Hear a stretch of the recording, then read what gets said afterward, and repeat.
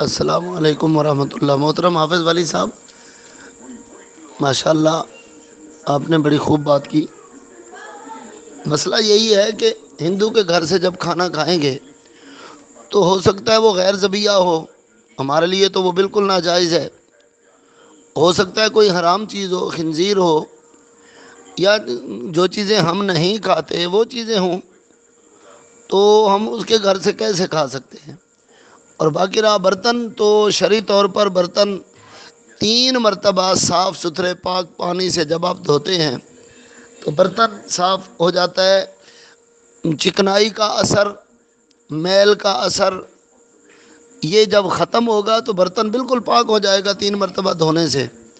और बाकी रहा कि वहाबिया, शिया वगैरह, इन फ़िरक़ों के घरों से खाना बिल्कुल मना है, ना खाया जाए।